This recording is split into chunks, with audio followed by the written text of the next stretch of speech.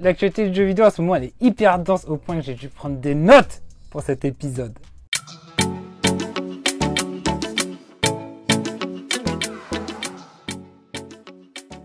Coucou et bienvenue dans ce nouvel épisode de la Mute Gaming avec Orange.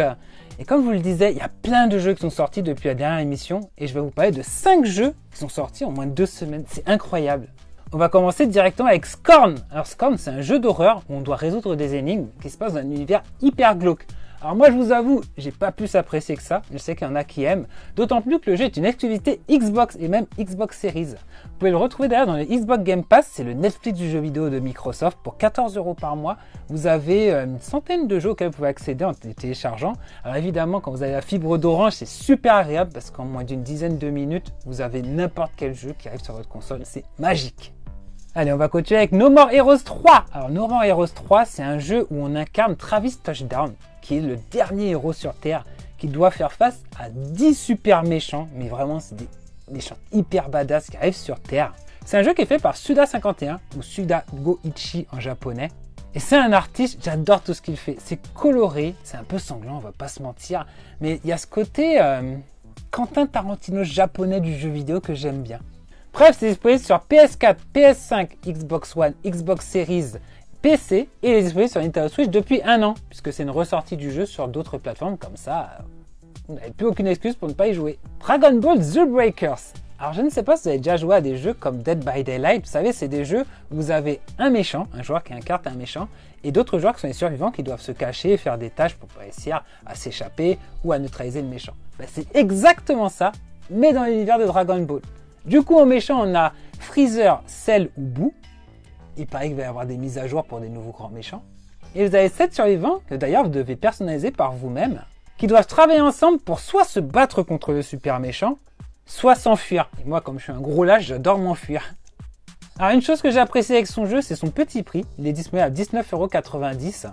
Sachant que le Battle Pass est inclus dedans. D'habitude, les Battle Pass, ça coûte à peu près 10 euros dans les jeux comme Fortnite. Le jeu est disponible sur Xbox One, PS4, Nintendo Switch et PC. Cocorico On va parler d'un jeu français Un jeu fait par les amis bordelais de chez Asobo. Et on parle pas d'un petit jeu. On parle de Tale Requiem Alors c'est un jeu qui raconte l'histoire d'une fille avec son petit frère qui vivent à l'époque où il y a eu la peste noire. Alors attention, c'est un jeu fantastique. C'est pas un jeu historique qui respecte la manière dont s'est déroulée la peste noire. Ici, on est dans un jeu où la peste est représentée par des rats, des milliers de rats, des millions de rats qui arrivent sur vous par vagues. C'est vraiment impressionnant.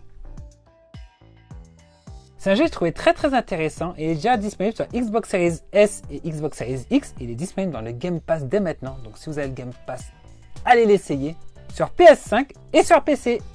Il me semble qu'il y a une version cloud sur Nintendo Switch, mais je ne sais pas si elle est déjà sortie. J'ai pas eu le temps de checker. Allez, pour finir, ça fait quelques jours que je joue à Gotham Knight et franchement, j'adore ce jeu. Gotham Knight, c'est un jeu réalisé par Warner Bros. Montréal et qui est dans la lignée des Batman Arkham, pour ceux qui connaissent. Donc, particularité de ce jeu, on se retrouve avec un Batman qui meurt dès le début de la partie et qui laisse Gotham entre les mains de Batgirl, Robin, Nightwing et Red Hood. Graphiquement, on a un jeu plutôt détaillé, j'ai bien aimé la modélisation des personnages notamment, et les développeurs ont vraiment réussi à retranscrire l'ambiance qu'on a dans les films et dans les comics de Batman. Alors je sais que certains joueurs vont se plaindre du fait que le jeu tourne en 30 images par seconde, mais de mon côté, ça ne m'a pas plus dérangé que ça, d'autant plus que le jeu reste vraiment constant et fluide tout au long de l'aventure. Et de toutes les manières, il y a ce côté cinématique qui fait que je trouve que ça rend bien en 30 images par seconde à l'image des films qui sont en 24 images par seconde, pour tout vous dire.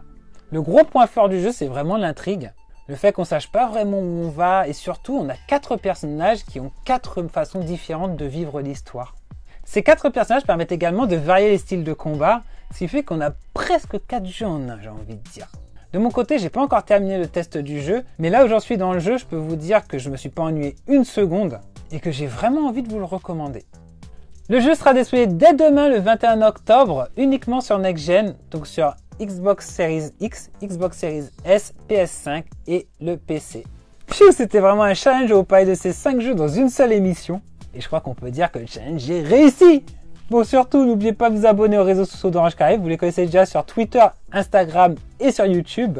Et quant à nous, on se retrouve très très bientôt pour de prochains épisodes. Ciao